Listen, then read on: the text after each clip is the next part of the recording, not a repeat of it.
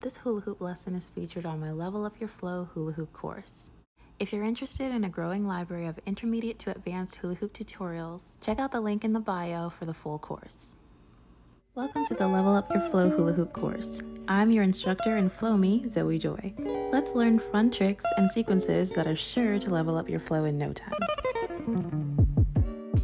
In this lesson, we're going to be learning the coin spin wedgie. For this one, we're going to take the concept of walk the dog wedgie escalator we learned in lesson 18. If you need more practice on your wedgie, please go back to lesson 9 and 18 before we continue. When you first start learning this trick, it'll feel like dumb luck when you get it, but we're going to break it down so that you can get your timing right. If you're all ready to go, let's break down the spin. I'm starting out by holding the hoop at 12 o'clock. As you can see, I'm holding the hoop out in front of me so it doesn't hit my legs. Get comfortable with twisting your wrist back and forth.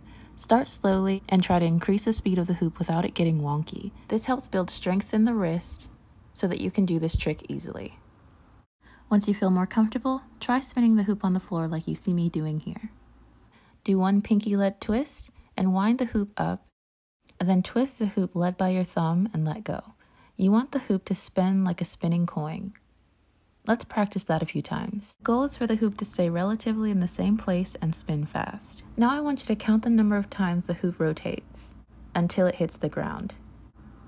Make a mental note of when the hoop is facing your legs. This is the point you'll be able to start your wedgie. Let's practice this trick in a controlled manner. Start out by holding the hoop and twisting it with your fingers, and when the hoop is facing you, step your opposite leg into the middle space of the hoop. You can then start your wedgie. Obviously, the actual trick isn't this easy, but we're going to start out slow by twisting the hoop slowly, letting go, and then trying to go into our wedgie. You're going to see me struggle a few times because it's not always intuitive, but I promise you the more you practice, the more you'll get it. You'll see me counting the times the hoop spins and getting ready to go into the wedgie. I'm keeping these blunders in to show that everything isn't always super smooth in hooping, but we keep going, we keep trying, and we learn together.